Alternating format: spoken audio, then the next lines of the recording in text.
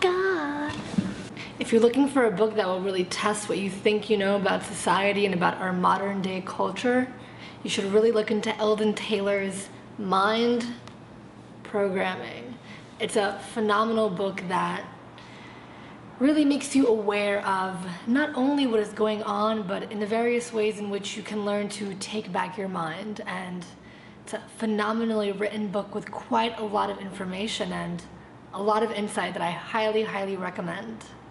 The following is an excerpt from the book. The story is called The Four Views.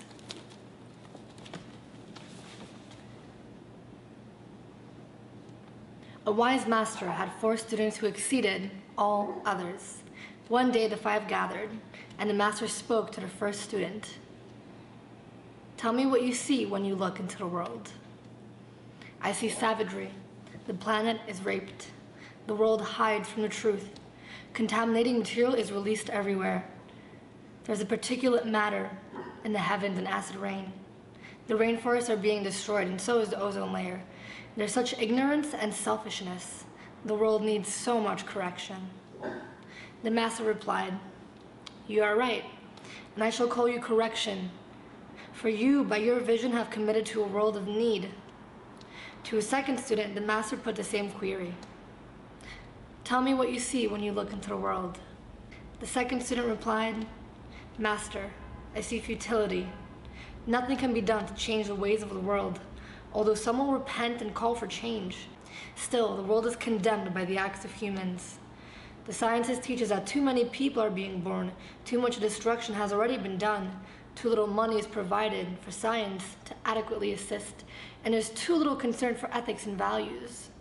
Crime escalates while families decay. Law is lost.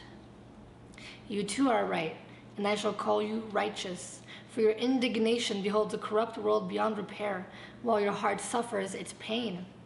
You shall be known for your words, and your works will express the sadness of your heart.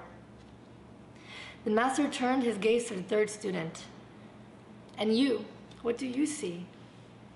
I see a world needing the restoration of law. I don't believe that hope is lost. I find encouragement in the words of my brothers, for they too recognize the need for a change. It's with confidence that I sense the willingness of humankind to change. All good government is government of the people and for the people. It's through law and government that change can be effected. The mass will follow the right action and attitude of government. The agent for change exists, and it's law and government. You are also right. I shall call you government, for your words forge your observations and become what you teach. You will therefore be committed to a work of law and order through government. Finally, to the fourth student, the master puts the same question.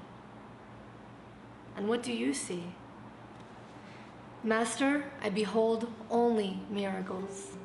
Life is a miracle. All being is a miracle. Consciousness is a miracle. I behold God in all creation. I sense the beauty of love and the fragrance of the flower and the smile of a child, in the warmth of lovers and in the glow of the stars. When I look upon the world, I'm greeted with its mysteries. It's with awe and reverence that each day unfolds its beauty. I know that all things are good and that each expresses its good in its own appropriate manner for the moment. I know that that which my brothers speak about is but illusion, for only the eternal is real. I'll give no power to thoughts of scarcity, of limitation, or of need, for all that's truly needed is here, for us to behold, to recognize, and to accept. I wish only to give to the world the sight I've been given, for with these modest eyes and senses my heart is quickened by the glory of being. Master smiled before he spoke. And you, my chosen student, I will call you truth. For your vision is of truth, and its reward is the reality it sees. You shall go into humankind and teach from what you see, for yours is the vision of what is, and all that is possible rests in this peace. You shall be known by all people through your garments of serenity and peace. The Master, speaking to all of them, added these words To each of you is a blessing of your vision as you see the world, so it reveals itself to you. You will know the world by your vision of it. To each of you will go the works of your sight. You'll experience life according to your vision. The story ends with the following paragraph. Not only is our reality a matter of choice, but so is the power we give it. Only the eternal is incorruptible, therefore, only the eternal is true. All else is inherently false by definition. To be a master, one must begin by acting like a master. To grow, we must give.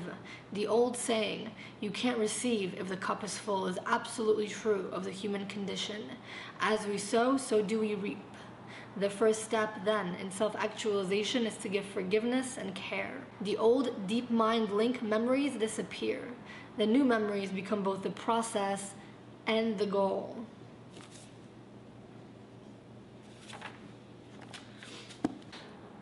Eldon, you're awesome.